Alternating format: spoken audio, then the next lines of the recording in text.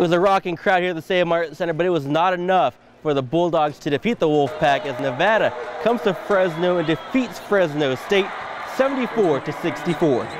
Braxton Huggins led Fresno State with 25 points in 31 minutes of play.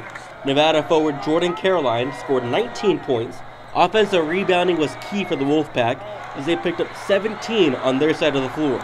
Here's Coach Hutson postgame.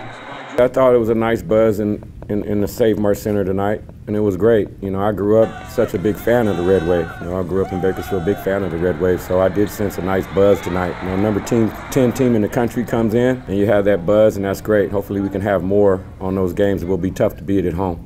The Bulldogs' next home game is January 22nd against San Diego State here at the Save Mart Center. You can buy tickets calling 278-DOGS or visit GoBulldogs.com. For Fresno State Athletics, I'm Adrian Lovino.